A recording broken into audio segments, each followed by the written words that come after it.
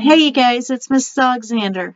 Um, I've been seeing some issues with multiplication and understanding how we multiply.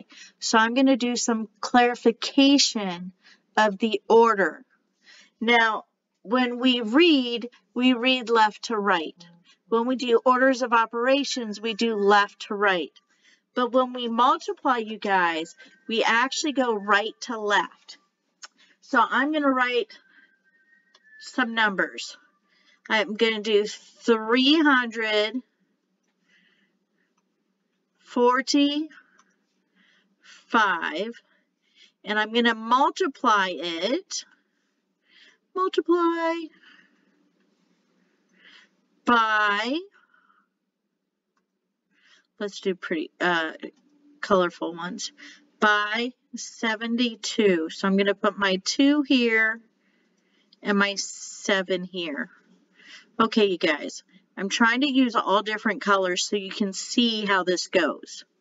So my 2, I'm going to use um, the yellow.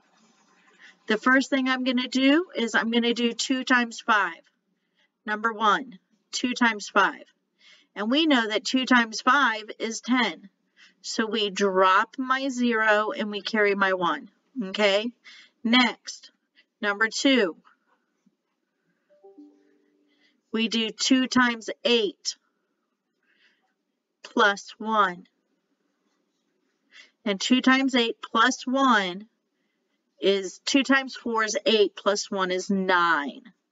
And then, you guys, we do the third step. We do 2 times 3. 2 times 3 is 6.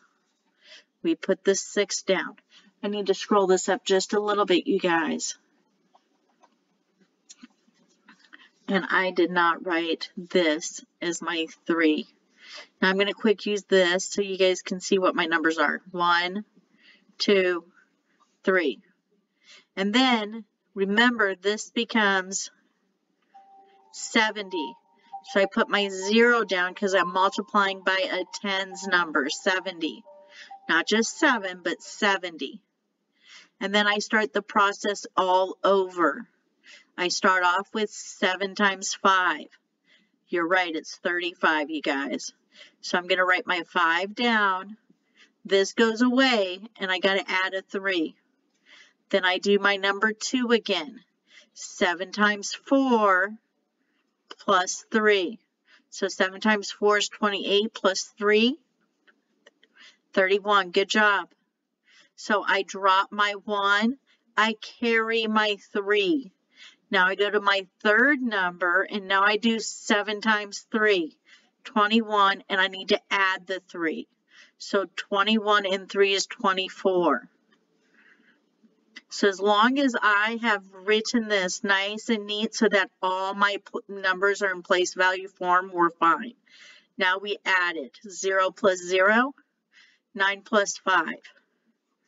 And I carry my 1 because we're regrouping. 6 plus 1 plus 1, 8. Good job. 4 plus 0 and 2 plus 0. So make sure you follow the pattern. You do the ones column, the tens column, the hundreds column. Then you multiply with the tens column by bringing our zero down and then doing the ones column, the tens column, the 100 column. Now remember, when we multiply, we go right to left and make sure we hit every digit.